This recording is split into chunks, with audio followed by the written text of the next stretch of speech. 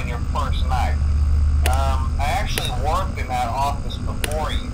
I'm finishing up my last week now, as a matter of fact. So I know it can be a bit overwhelming, but I'm going to tell you there's nothing to worry about.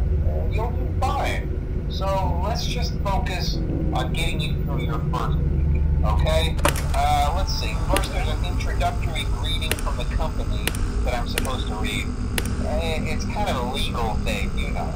Um, welcome to Freddy Fazbear's Pizza, a magical place for kids and grown-ups alike, where fantasy and fun come to life. Fazbear Entertainment is not responsible for damage to property or person.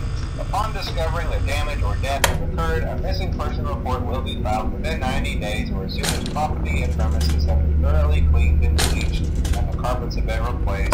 Blah, blah, blah. Now, that might sound bad, I know, but there's really nothing to worry about. Uh, the animatronic characters here do get a bit quirky at night, but do I blame them? No.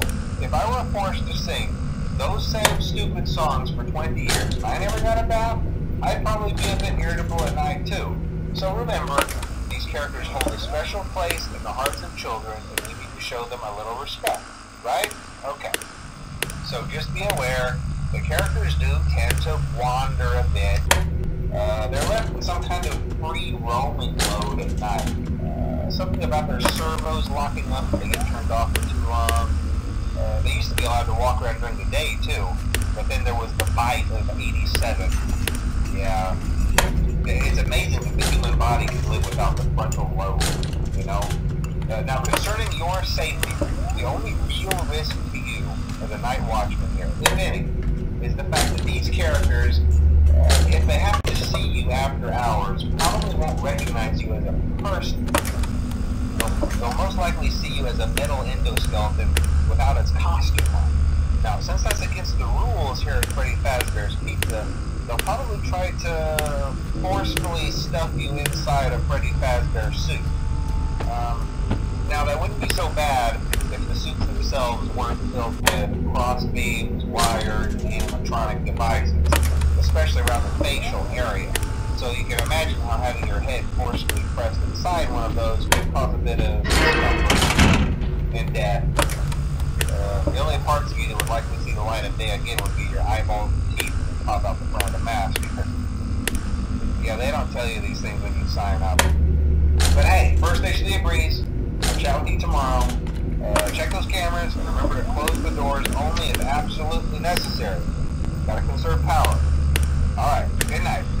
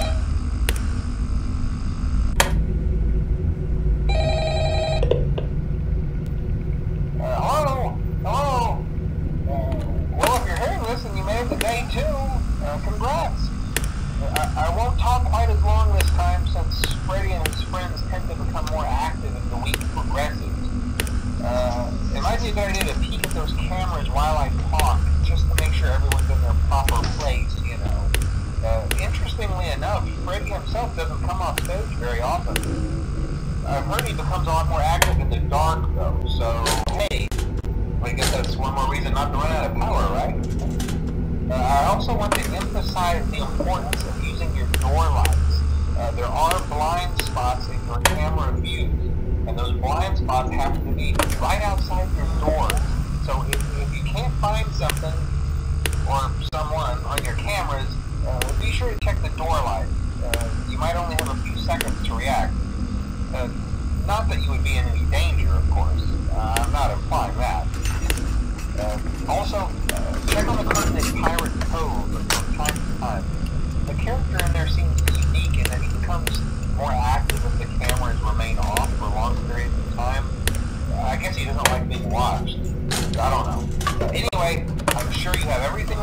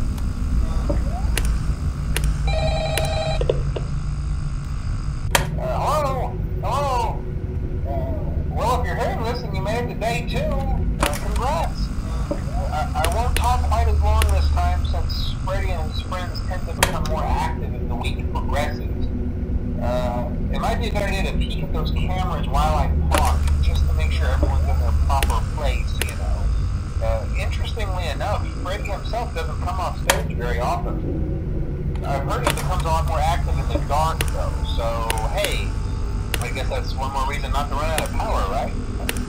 Uh, I also want to emphasize the importance of using your door lights. Uh, there are blind spots in your camera view, and those blind spots have to be right outside your doors. So if, if you can't find something or someone on your cameras, uh, be sure to check the door light. Uh, you might only have a few seconds to react. Uh, not that you would be in any danger,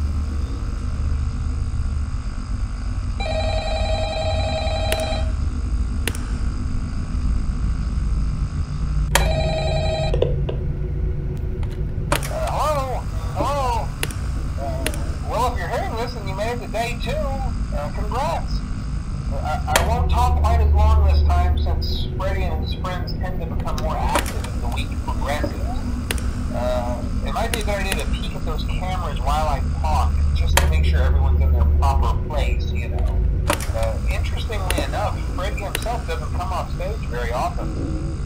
I've heard he becomes a lot more active in the dark, though, so hey, I guess that's one more reason not to run out of power, right?